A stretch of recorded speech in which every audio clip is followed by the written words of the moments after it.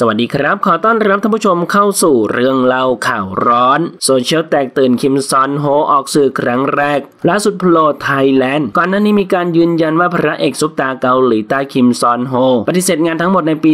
2022 นี้ ทั้งงานแสดงการต่อสัญญาโฆษณา และ plan fan meeting ต่างประเทศ โดยปีนี้จะมีเพียงภาพยนตร์เรื่อง Sad Tropics เท่านั้น และขณะที่ซอนโฮกำลังทุ่มเทถ่ายทำอยู่ หลังจากตกเป็นประเด็นข่าวฉาวคิมซอนโฮก็ fade ตัวหายหน้าหายตาไปจากสื่อ ทุ่มเทเวลาทั้งหมดให้กับการถ่ายหนัง แต่ล่าสุดวันนี้ 31 มีนาคม 65เป็นแฟนชาวไทยและทั่วโลกต่างแตกตื่นดีใจสุดๆหลังมีภาพของคิมซอนโฮตอนนี้อยู่ที่สนามบินสุวรรณภูมิประเทศไทย ซึ่งยังไม่มีการยืนยันใดๆว่าพระเอกหนุ่มมาเที่ยวพักผ่อนหรือมาถ่ายหนัง แต่แฟนๆก็ยินดีต้อนรับ และขอให้พระเอกหนุ่ม happy ที่ได้มาเมืองไทยท่านผู้ชมนะครับ มีความคิดเห็นอย่างไรกับเรื่องนี้ลองแสดงความคิดเห็นกันเข้ามาดูนะครับ ขอขอบคุณข้อมูลจากที่นี่ .com ขอบคุณครับ